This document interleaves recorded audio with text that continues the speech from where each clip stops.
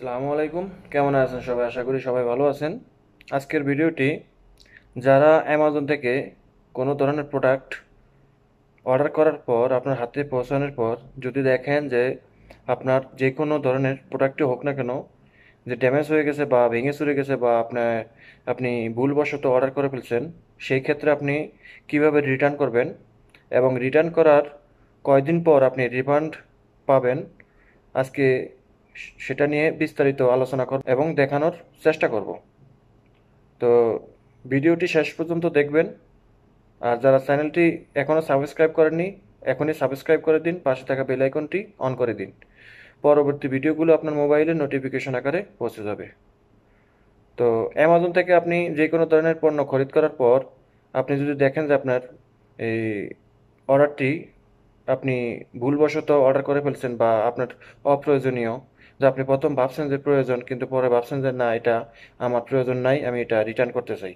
তো সেই ক্ষেত্রে আপনি রিটার্ন করতে পারবেন, বা যদি দেখেন যে এটা ড্যামেজ হয়ে গেছে হ্যাঁ সেই ক্ষেত্রে আপনি রিফান্ড করতে পারবেন। যদি দেখেন যে এটা কাজ করছে না, সেই ক্ষেত্রে আপনি রিটার্ন করতে পারবেন। তবে তবে এটা অর্ডার করার আগে আপনি অবশ্যই ডিসক্রিপশন দেখে নিতে হবে যে কোন পণ্যটা কত দিনের ভিতরে আপনি রিটার্ন করতে পারবেন। এটা কিন্তু অর্ডার করার সময় এটা একটা ডিসক্রিপশনে দেওয়া থাকে যে আপনি কোন অর্ডারটি বা কোন প্রোডাক্টটি আপনি কত দিনের ভিতরে আপনি রিটার্ন করতে পারবেন বা কোনটা রিফান্ড এলিজিবল না, যেটা রিফান্ড নেবে না। ঠিক আছে? গ্যারান্টি ওয়ারেন্টি কোনটা আছে না আছে সেটা অবশ্যই দেখে অর্ডার করবেন। ঠিক আছে?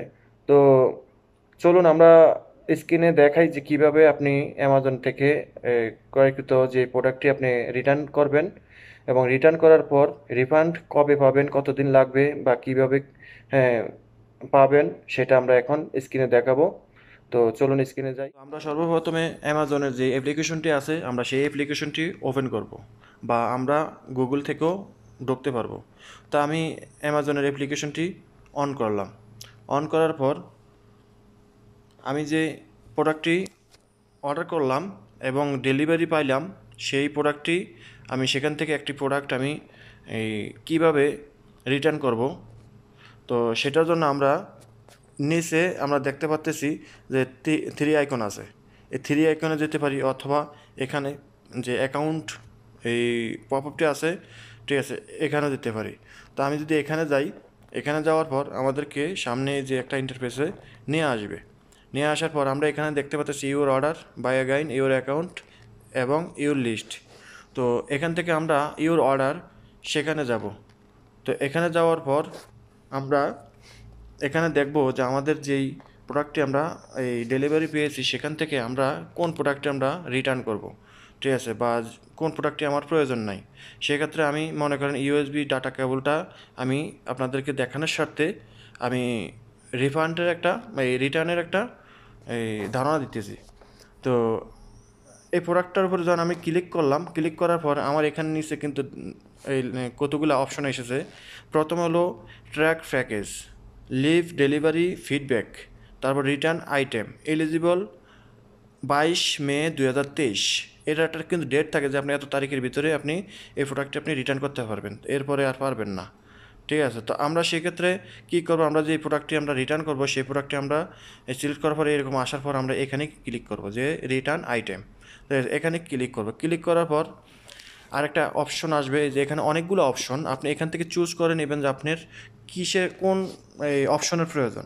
আপনার যদি প্রোডাক্টটি খারাপ হয়ে থাকে, তো সেই ক্ষেত্রে এখানে লেখা আছে, আপনি যদি ভুলবশত আপনি অর্ডার করে থাকেন সেটাও এখানে কিন্তু উল্লেখ আছে। যে দেখেন যে আপনি মিস্টেক করছেন, ঠিক আছে? বা আপনার এই প্রাইসটা অ্যাভেলেবেল ঠিক আছে? বা আপনার ওয়েবসাইট ডিসক্রিপশনে ঠিক আছে? এখানে যেতে পারেন, বা ডিড অ্যাপ্রুভ প্রসেস এখানে যেতে পারেন। তারপরে রিসিভ এক্সট্রা আইটেম তো আপনি যে কোনো অপশন আপনি এই এখান থেকে সিলেক্ট করতে পারেন। তবে সিলেক্ট করার পর যদি যেমন মনে করেন আমি মিস্টেক করলাম, ঠিক আছে?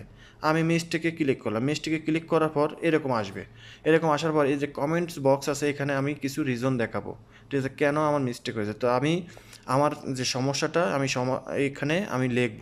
আপনি যাই লেখেন মন থেকে। ঠিক আছে? আপনি ভুলবশত অর্ডার করছেন। ঠিক আছে? আপনি দুঃখিত। এরকম লিখলেন। তো লেখার পর এখানে কিছু লিখলেন। ঠিক আছে।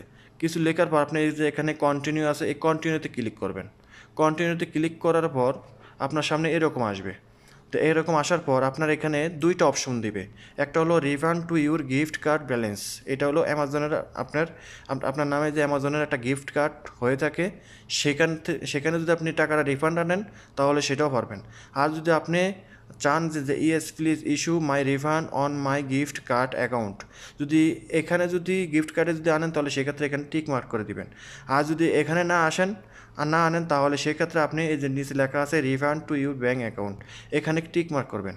ঠিক আছে, আপনার ব্যাঙ্ক অ্যাকাউন্টে টিক মার্ক করবেন। টিক মার্ক করার পর আপনি এখানে একটা অপশন আসবে যে অ্যাড ব্যাঙ্ক অ্যাকাউন্ট এই অ্যাড ব্যাঙ্ক অ্যাকাউন্ট এখানে ক্লিক করবেন। ক্লিক করার পর আপনার এই যে ইটা আছে ব্যাংকের যে অ্যাকাউন্ট আছে, সে অ্যাকাউন্ট নাম্বার আপনি এখানে বসিয়ে দিবেন। এই যে পার্সোনাল চেকিং অ্যাকাউন্ট ঠিক আছে?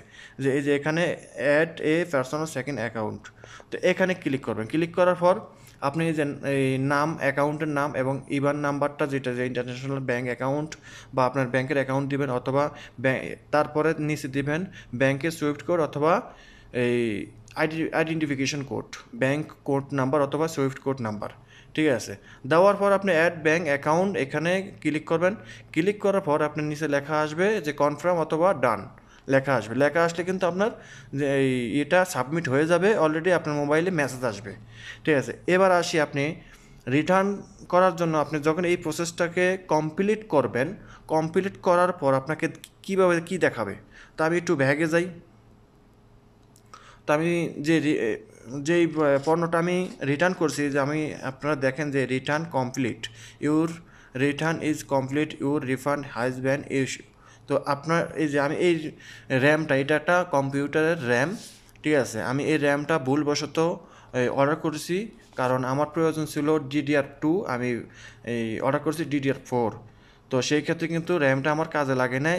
তারপরও আমি কিন্তু এই র্যামটা আরেকটা কম্পিউটারে ব্যবহার করার চেষ্টা করছি, কিন্তু এই ভাগ্যক্রমে এই র্যামটা একটা ড্যামেজ র্যাম এই র্যামটা চলে না, ঠিক আছে?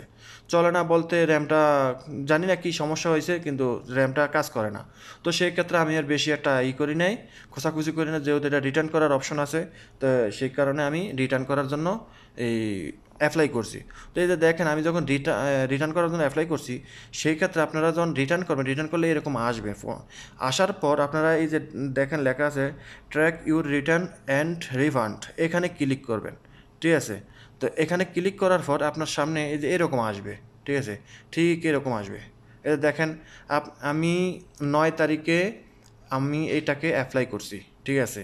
দশ তারিখে আমাকে ডেট দিয়েছিল দশ তারিখে এসে আমার এই প্রোডাক্টটা নিয়ে গেছে তারা, ঠিক আছে? তারা আমার এই বাসায় এসে, আমার কাছে এসে, ঠিক আছে?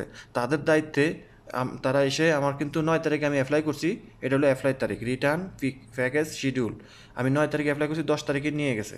এগারো তারিখে আমি দেখতে পাচ্তেছি এই সিগন্যালটা এগারো তারিখে পিক আপ এখানে এসেছে। এবং ফার্স্টে এখানে লেখা এসেছে যে আমার, এই প্রোডাক্টটি রাস্তায় আছে, এখন তারা রিসিভ করতে পারেনি। আজকে চৌদ্দো তারিখ, দেখেন এই চৌদ্দো তারিখে কিন্তু আমার আইটেমটি তারা রিসিভ করছে। রিসিভ করার সাথে সাথে কিন্তু রিফান্ড অন দ্য ওয়ে ঠিক আছে? এই পাঁচ থেকে সাত বিজনেস ডে ঠিক আছে? তো এই সপ্তাহের ভিতরেই আর কি আসবে, বৃহস্পতিবারের ভিতরে আসবে, ঠিক আছে? আজকে হলো রোববার সমঙ্গল বুধ, বৃহস্পতি, এর ভিতরে চলে আসবে, ঠিক আছে? তো আসার পরে এই যে দেখেন এটা কিন্তু আপনার সিগন্যাল আপনি তাদের সাথে যোগাযোগ করার কোনো প্রয়োজন নেই। এইটা, এই অ্যামাজন কোম্পানিটা এমন একটা ই কমার্স কোম্পানি এরা একদম একশো পার্সেন্ট এই মানে এদেরকে একশো পার্সেন্ট আপনি বিশ্বাস করতে পারেন। ঠিক আছে, এটা, এরা আপনার মাইডিয়াও খাইব না, আর আপনার মাইডিয়া খাইতেও দিব না। ঠিক আছে, তো এখন কথা হলো যে আপনার যে এই যে আমার যে টাকাটা প্রসেসিং হইতেছে, আমি এখানে জানি যে এই ঘরে আসবে উনিশ থেকে একুশ তারিখের ভিতরে। মেয়ের এই উনিশ থেকে একুশ তারিখের ভিতরে আমার এই টাকাটা কিন্তু আমার অ্যাকাউন্টে জমা হবে। Refund credit to your bank account ঠিক আছে, উনিশ থেকে একুশ তারিখের ভিতরে। যেহেতু সামনে শুক্র শুক্র শনিবার আছে, সেই ক্ষেত্রে এই তারিখটা দেখাচ্ছে ঠিক আছে, তো আশা করি বুঝতে পেরেছেন। যদি ভিডিওটি ভালো লাগে লাইক কম শেয়ার করবেন এবং চ্যানেলটি সাবস্ক্রাইব করবেন। পাশে থাকা বেল আইকনটি অন করে দিবেন। তো সবাই ভালো থাকবেন, সুস্থ থাকবেন। দেখা হবে অন্য কোনো ভিডিওতে কথা হবে অন্য কোনো ভিডিওতে আল্লাহ হাফেজ।